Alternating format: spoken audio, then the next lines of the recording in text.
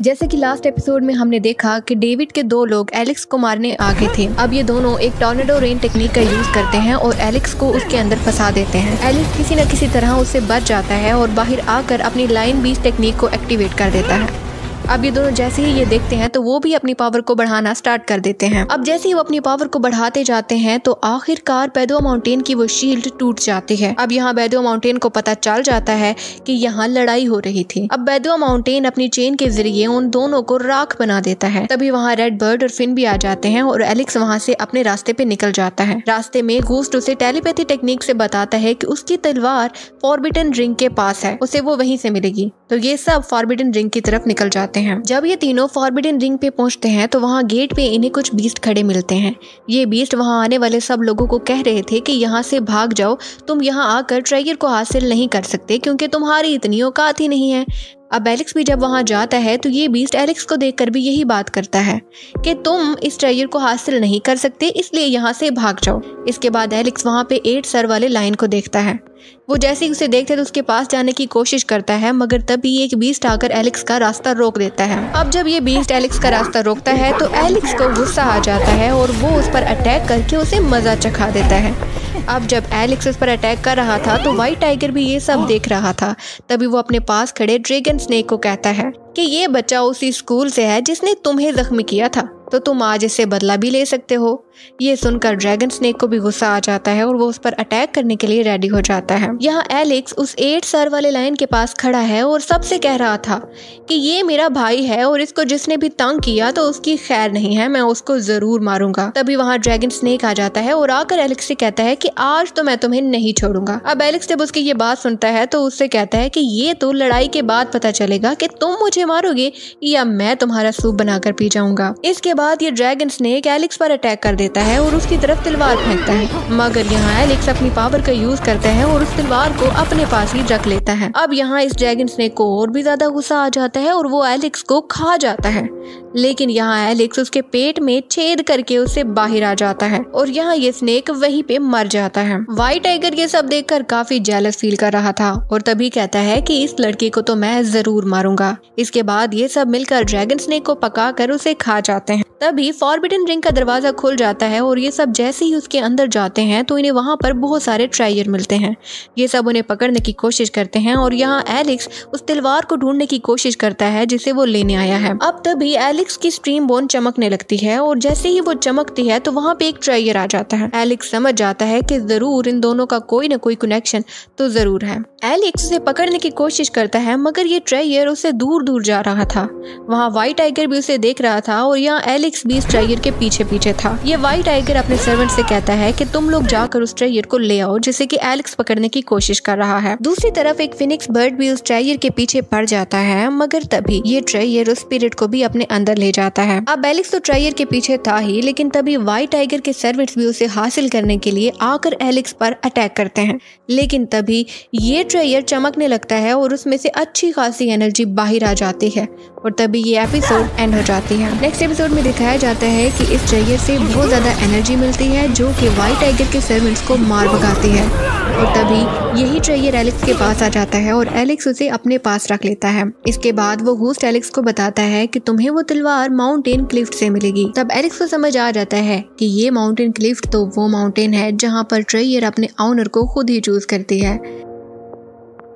इसके बाद एलेक्स उस माउंटेन क्लिफ्ट पर पहुँच जाता है, जहाँ पर उसे बहुत सारे बीस्ट दिखते हैं। ये सब बीस्ट भी वहाँ से ट्रेयर लेने आए थे। इसके बाद उनके पास एक ट्रेयर आता है, जो कि एक बीस्ट को सिलेक्ट करता है। मगर दूसरा बीस्ट उससे जेलिस होकर उससे वो ट्रेयर छीन लेता है। तभी फॉरबिडन रिंग को ये बात पता चल जाती है और वो उस बीस्ट को मार देता है क्योंकि ये वहाँ के रूल के खिलाफ था। वहाँ पर मौजूद सब ट्रेयर अपने ऑनर को खुद ही चूज़ करते थे और जो कोई भी एक दूसरे से लड़ेगा तो ये उसकी पनिशमेंट है। तभी वहाँ पर बहुत सारे ट्रेयर आते हैं और वो सब ट्रेयर अपने अपने ऑनर को चूज़ कर देते हैं। मगर एलेक्स को तो कोई चूज़ ही नहीं करता। एलेक्स बहुत ज़्यादा परेशान हो जाता है और तभी वहाँ पर एक एट सर का लाइन होता है जो की एलेक्स को बताता है की यहाँ पर पर एक और तलवार है जो कि अभी तक किसी को नहीं मिली। एलेक्स जब उस तलवार के पास जाता है तो वो बहुत ज़्यादा परेशान हो जाता है, क्योंकि उसे ये तलवार काफ़ी बेकार और जंग लगी लग रही थी। उसे नहीं लग रहा था कि ये तलवार उस बूस्ट की होगी। अब वो उसे निकालने की कोशिश करता है और इसके लिए जैसे ही वो उसे टच करता है तो उसमें से काफ़ी ज़्यादा रोशनी निकलती है। अब एलेक्स को समझ आ जाता है कि ये तलवार उसी बूस्ट की है। वो उस पर और ज़्यादा ज़ोर लगाता है और उसे निकालने की कोशिश करता है। आखिरकार बहुत ज़्यादा ज़ोर डालने के बाद ये तलवार बाहर आ ही जाती है। तभी एलिस को दूर से बहुत ज़्यादा रोशनी नज़र आती है। वो उस रोशनी के पास जाता है और वहाँ उसे जिया मिलती है। जिया भी वहाँ पर आई हुई थी और जिया के साथ वान काई भी था। एलेक्स उसे देखकर बहुत ज़्यादा खुश हो जाता है। तभी हमें दिखाया जाता है कि रेड बर्ड और आठ सर वाले लाइन कहीं पर जा रहे थे और उन पर किसी ने हमला कर दिया था। अब रेड बर्ड एलेक्स के पास आता है और उसे आकर बताता है कि मैं और आठ सर वाला लाइन कहीं जा रहे थे और तभी हम पर किसी ने अटैक कर दिया। और तुम प्लीज़ आओ और आकर हमारी हेल्प करो। एलेक्स उसे बताता है कि तुम्हें ये किसने बताया कि मैं कहाँ हूँ?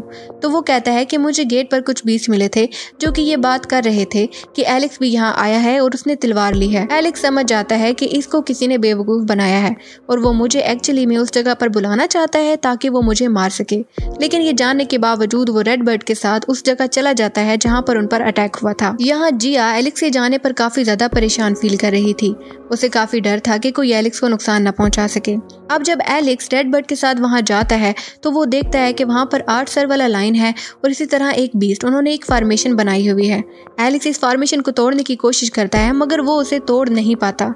और तभी वहाँ पर व्हाइट टाइगर आ जाता है। इस व्हाइट टाइगर के साथ एक गोल्डन ईगल भी था, जो कि उसका दोस्त था। ये दोनों आकर एलेक्स पर अटैक कर देते हैं, मगर एलेक्स उनके अटैक से बच जाता है। अब ये दोनों मिलकर एलेक्स पर अटैक करते हैं, और जैसे ही वो एलेक्स पर अटैक करते हैं, तभी वहाँ पर जिया अपने सर्वेंट्स के साथ आ जाती है। अब ये सर्वेंट गोल्डन ईगल पर अटैक करते हैं, और तभी मौका पाते हुए एलेक्स भी उस शील्ड को तोड़ने की कोशिश करता है। यहाँ जैसे ही एलेक्स इस शील्ड को तोड़ने की कोशिश कर रहा था, वहाँ वाइट टाइगर जिया पर अटैक करके उसे जख्मी कर देता है। ये देखते ही एलेक्स को बहुत ज़्यादा गुस्सा आ जाता है और ये वाइट टाइगर यही तो चाहता था। वो उसके गुस्से को और बढ़ाने के लिए जिया को कैद करने की कोशिश करता है। तभी एलेक्स जिया को बचाने के लिए आ जाता है और उसका हाथ पकड़कर उससे कहता है कि मैं तुम्हें कुछ भी नहीं होने दूँगा। मैं तुम्हें इस वाइट टाइगर से बचा लूँगा। अब यहाँ ये वाइट टाइगर एलेक्स पर अटैक करता है, मगर वो अपनी तलवार से उसे बच जाता है। इस टाइगर को बहुत ज़्यादा गुस्सा आ जाता है क्योंकि वो जिया को भी कैद नहीं कर पाया था। वो फ़ौरन से एलेक्स की तरफ़ दौड़ता है, मगर एलेक्स भी अपनी पावर का यूज़ करते हुए उसका सीना चीरते हुए उसे मार देता है। यहाँ जिया भी बच गई थी और एलेक्स भी बच गया था। मगर गोल्डन ईगल तो अभी ज़िंदा था। गोल्डन ईगल को बहुत ज़्यादा गुस्सा आ जाता है और अब उसका गुस्सा देखते हुए जिया के सर्वेंट उसे वहाँ से जाने का कहते हैं। क्योंकि उन्हें हुक्म मिला था कि उन्हें जिया की हिफाजत करनी थी। उनका मेन पर्पज तो जिया की हिफाजत करना था, ना कि एलेक्स की। वो जिया को वहाँ से जाने का कहते हैं और यहाँ गोल्डन एग एलेक्स पर अटैक करने के लिए रेडी होता है।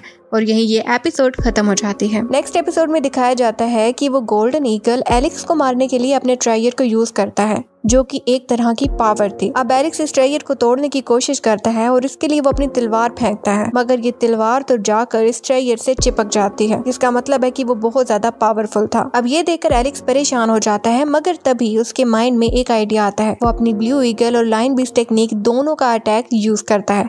वो उन दोनों को मर्ज करके जब ईगल पर अटैक करता है तो वो उसके अंदर कुछ देर के लिए तो फंस ही जाता है। इसके बाद एरिक उसके ऊपर चढ़ जाता है और उसे ज़ोर ज़ोर से मुक्के मारने लगता है। मगर ये ईगल जैसे ही इस अटैक से बाहर आता है, उस पर इन मुक्कों का कोई असर ही नहीं हो रहा था। तभी एलेक्स को एक और आइडिया आता है और वो इस ईगल की आँखों पर अटैक करता है। ये ईगल अबंधा हो जाता है और तभी मैग्नेट से जाकर टकरा जाता है।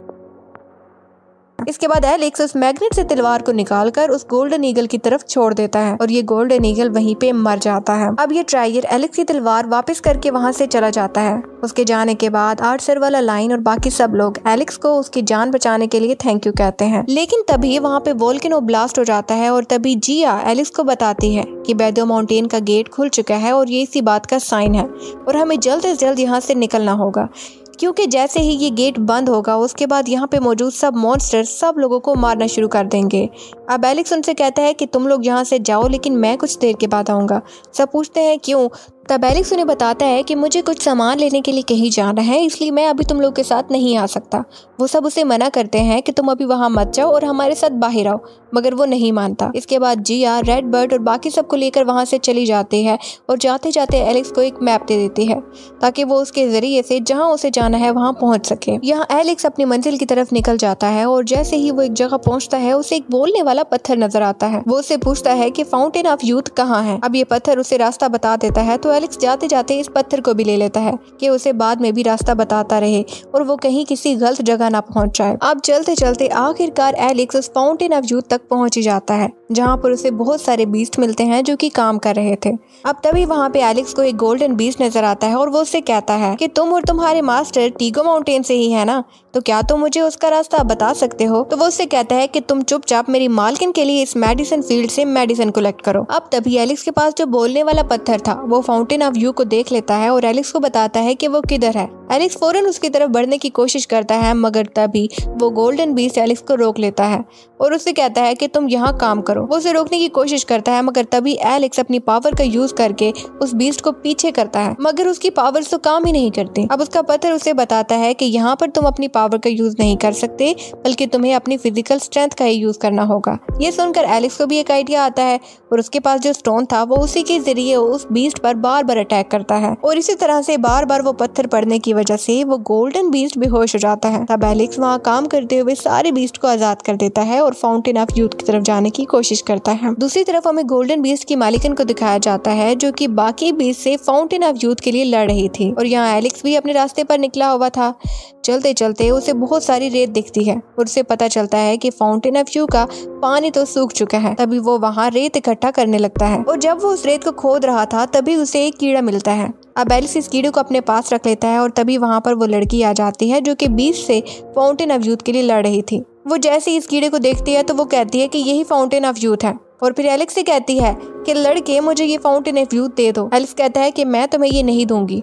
अब जब एलेक्स उन्हें कीड़ा देने से मना कर देता है तो वो सब मिलकर एलेक्स पर अटैक करने लगते हैं। और जब एलेक्स देखता है कि वो उन पर अटैक कर रहा है तो वो भी अपने पत्थर से उन पर अटैक करता है। और यही ये एपिसोड खत्म हो जाती है।